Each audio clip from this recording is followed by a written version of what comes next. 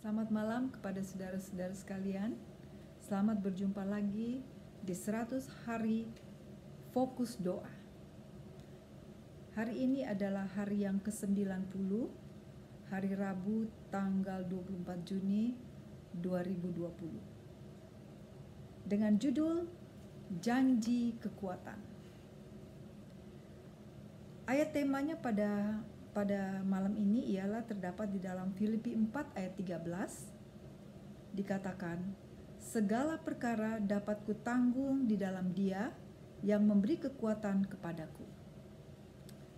Dan juga ada statement dari Letter 45 tahun 1893 paragraf ke-33 dikatakan saya ingin agar semua dapat menyadari kemungkinan-kemungkinan dan kesempatan-kesempatan apa yang ada bagi semua orang yang menjadikan Kristus kekuatan dan kepercayaan mereka.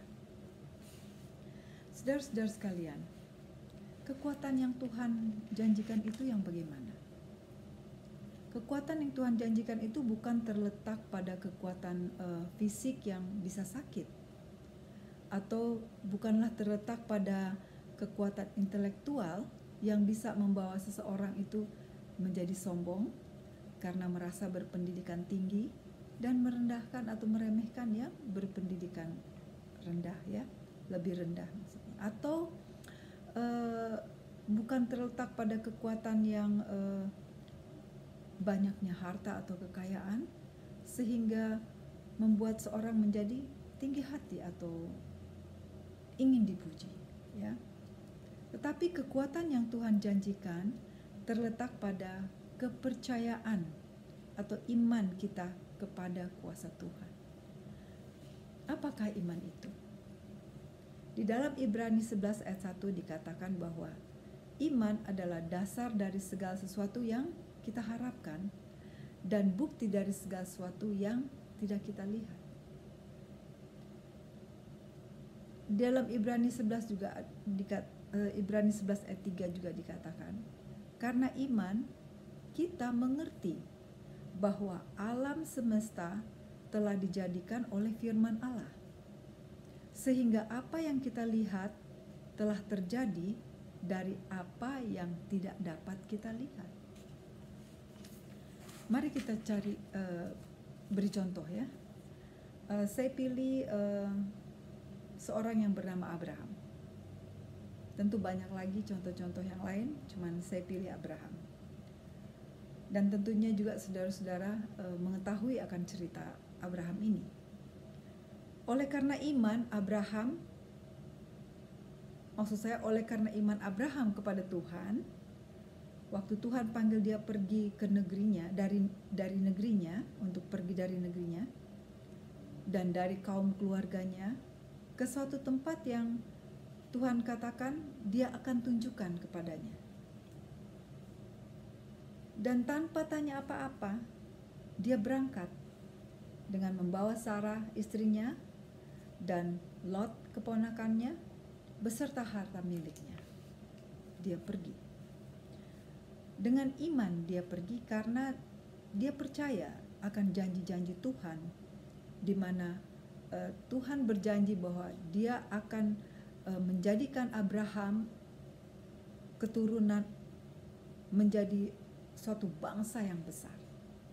Turunan-turunan dari Abraham. Bukan sampai di situ saja iman Abraham diuji. Tentunya kita semua tahu ceritanya pada waktu dia akan uh, mempersembahkan anaknya yang tunggal itu yaitu uh, Ishak Padahal Tuhan sudah berjanji bahwa keturunan yang berasal dari Ishak itulah yang akan disebut keturunanmu atau keturunan Abraham, ya. Tapi karena iman Abraham kepada Tuhan, dia percaya bahwa Tuhan berkuasa membangkitkan orang, membangkitkan orang-orang sekalipun dari antara orang mati. Jadi Abraham pikir walaupun Tuhan yang kasih kan, ya Tuhan yang ambil juga dan Abraham percaya Tuhan akan bangkitkan dia. Nah, itu karena ada iman. Nah, contoh yang lain tentang iman. Saya ada baca uh, ada satu statement juga dari yang tante Sinci suka kirim ya. Dikatakan iman bukanlah meminta Tuhan untuk menghentikan badai. Tetapi iman adalah percaya bahwa Tuhan akan menolongmu melewati badai itu. Itu namanya iman. Seperti pada zaman sekarang, pada saat sekarang, pandemik, pandemik, ya. Kita pakai mask dan social distancing, six feet apart. Karena iman, kita pakai itu semua.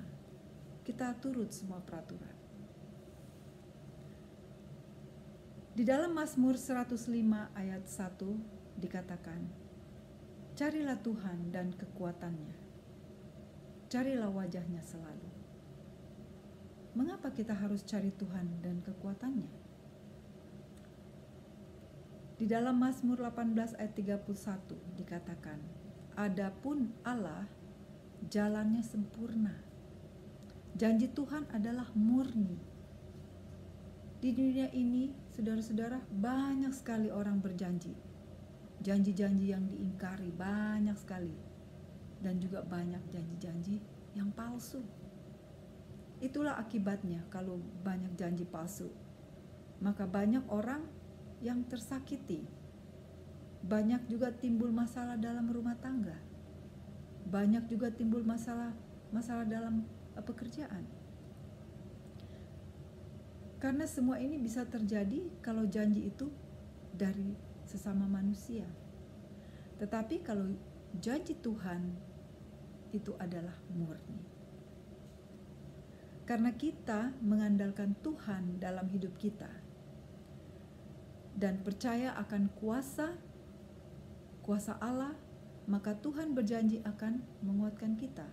Seperti yang tertulis di dalam Sakaria 10 ayat 12, Aku akan menguatkan mereka dan mereka akan bermegah di dalam nama Tuhan. Demikianlah firman Tuhan. Sungguh luar biasa. Ya? Berikut ini ada um, berita baik dari beberapa um, orang yang bernama yang pertama bernama Inoksi. Inok. Dikatakan, kemuliaan dan pujian diberikan kepada Tuhan. Selama lockdown, setiap hari kami mengadakan penyelidikan mendalam akan kitab Kejadian sebagai satu keluarga yang dipimpin oleh anak laki-laki kami yang berusia 27 tahun. Merupakan berkat yang luar biasa untuk menyadari betapa kayanya kitab Kejadian. Sekarang kami telah mengembangkan budaya belajar Alkitab sebagai satu keluarga. Cara yang bagus ya untuk belajar Alkitab bersama-sama di keluarga. Berikut uh, berita dari Robert. Rantai doa syafaat diadakan sepanjang minggu untuk seri penginjilan online yang baru saja saya selesaikan untuk konferensi Conference Arizona orang-orang dibaptis di gereja, di sungai, dan di kolam. Puji Tuhan ya, banyak juga orang yang datang kepada Tuhan dan dibaptiskan. Selanjutnya kita akan berdoa untuk beberapa hal. Salah satunya ialah uh, agar kebijakan ilahi dinyatakan kepada Anda ketika Anda meluangkan waktu bersama Allah. Mari kita juga berdoa untuk gereja-gereja, sekolah-sekolah, dan lembaga-lembaga Advent saat mereka berdoa, dan dengan hati-hati mempertimbangkan langkah-langkah untuk dibuka kembali. Berdoa juga bagi para lajang Advent untuk mengalami pemenuhan dalam Yesus dan menemukan pasangan yang rohani. Kita juga berdoa untuk Rumah Sakit Advent Tokyo yang telah melayani kota itu selama lebih dari 90 tahun.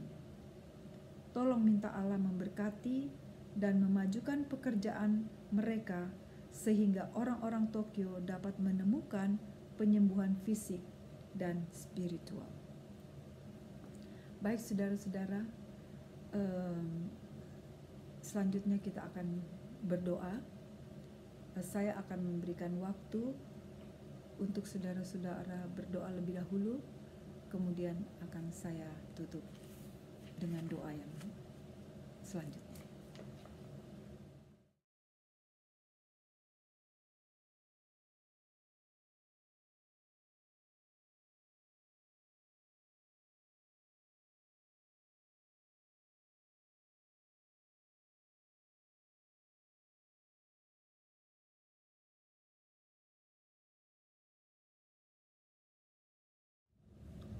Mari kita berdoa. Ya Tuhan Allah, Bapa kami yang bertahta di dalam kerajaan surga. Tuhan yang kami sembah siang dan malam. Pada jam ini lagi Tuhan, kami mendatang di hadapan-Mu dengan rendah hati dan penuh kekurangan kami. Mohon ampunilah kami supaya kami patut di hadapan Tuhan untuk berkata-kata, untuk memohon serta memuji dan memuliakan. Bapa di surga, pada saat ini kami mau mendoakan agar kebijaksanaan ilahi dinyatakan kepada kami ketika kami meluangkan waktu bersama-sama dengan Engkau ya Allah. Kami juga mau mendoakan untuk gereja-gereja, sekolah-sekolah, dan lembaga-lembaga Advent saat mereka berdoa dan dengan hati-hati mempertimbangkan langkah-langkah untuk dibuka kembali akan segala aktivitas mereka. Kami juga mau mendoakan bagi para lajang Advent untuk mengalami pemenuhan di dalam Yesus Kristus dan boleh menemukan pasangan yang rohani. Dan juga kami mau mendoakan untuk rumah sakit Advent di Tokyo yang telah melayani kota itu selama lebih dari 90 tahun. Tolonglah ya Allah, memberkati dan memajukan pekerjaan mereka sehingga orang-orang di Tokyo dapat menemukan penyembuhan fisik dan spiritual. Ya Bapa di surga, hambamu juga mau berdoa untuk semua umat-umat Tuhan di seluruh muka bumi ini yang selalu berharap kepadamu dengan sungguh-sungguh. Kiranya engkau memberkati mereka, teristimewa anggota-anggota di jemaat Riverside. Kiranya Tuhan mau memberkati kami, supaya kami tetap setia sampai kepada kedatanganmu yang kedua kali. Terima kasih Tuhan sudah dengar dan sempurnakan doa yang pendek ini. Hanya di dalam nama anakmu Yesus Kristus hamba berdoa dan mengucap syukur. Amin. Terima kasih saudara-saudara sekalian. Sampai berjumpa lagi pada besok malam.